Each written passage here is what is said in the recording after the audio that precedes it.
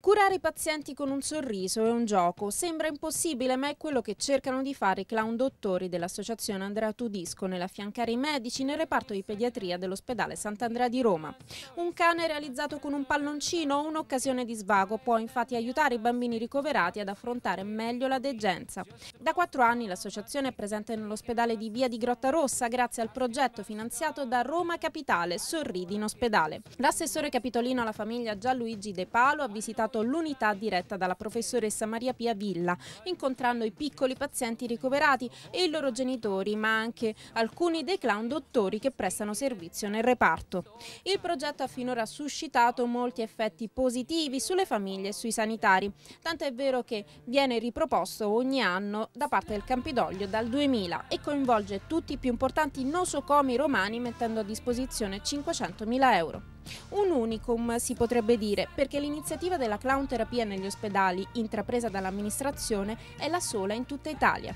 Il progetto, ha ribadito l'assessore De Paolo, verrà comunque mantenuto nonostante i tagli alle politiche sociali. Un progetto che dura da 12 anni, attivo in 9 ospedali che incontra ogni anno 17.000 bambini per cui la malattia diventa più lieve grazie ai clown dottori. Ci crediamo profondamente anche perché il riscontro che abbiamo dalle famiglie, dai bambini è un riscontro positivo. I bambini hanno bisogno, in un momento difficile della loro vita, di fragilità come avremo tutti e come abbiamo avuto tutti nella nostra vita, di essere accompagnati anche attraverso il sorriso. L'attività dell'Associazione Tudisco nell'ospedale Sant'Andrea ci è stata spiegata dalla Presidente Fiorella Tosoni. Qui svolgiamo attività di clown terapia eh, con il bando del Comune di Roma Sorridi in ospedale e in più con fondi dell'associazione svolgiamo anche la clown terapia il pomeriggio eh, dove vengono i nostri volontari per far giocare e divertire i bambini in modo che eh, l'ospedalizzazione sia meno triste diciamo, e meno pesante per i bambini e per i genitori. Spieghiamo che cos'è la clown terapia, differente dalla ludoterapia. La clown terapia, come dice lo stesso nome, è una vera e propria, chiamiamola così, terapia del sorriso eh, che serve a sdrammatizzare la situazione ospedaliera, le pratiche invasive e dolorose che vengono spesso fatte al bambino. E I clown dottori mettono in atto delle vere e proprie tecniche di distrazione che servono proprio ad allontanare il bambino dall'idea del dolore che sta provando in quel momento, dall'ansia e dallo stress.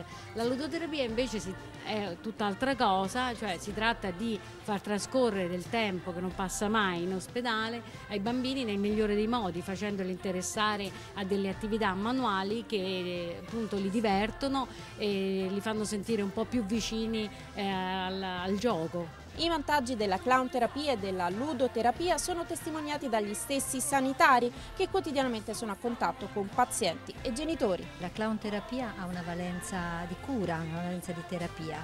A noi serve per alleggerire il peso delle procedure, il peso dello stress del bambino e della famiglia, eh, anche il dolore, loro dimenticano il dolore, eh, ma questo non è solamente un fatto così da raccontare, è un fatto scientificamente provato perché e nel momento in cui si sorride e si è allegri si attivano proprio delle altre ne reti neuronali tali da bloccare la rete del dolore, quindi l'effetto è un effetto reale, non è solamente un effetto, un effetto placebo. Sono quattro anni che l'associazione è attiva nel suo reparto, è stata subito accettata questa presenza, possiamo dirlo, estranea?